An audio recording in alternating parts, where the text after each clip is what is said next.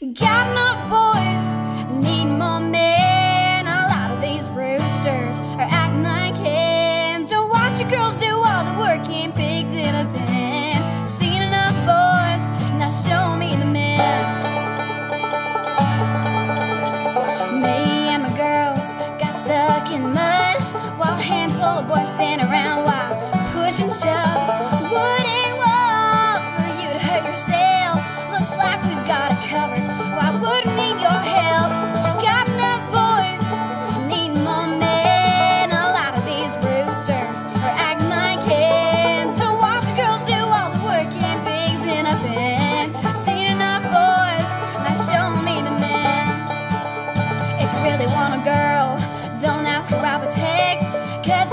she'll be over you and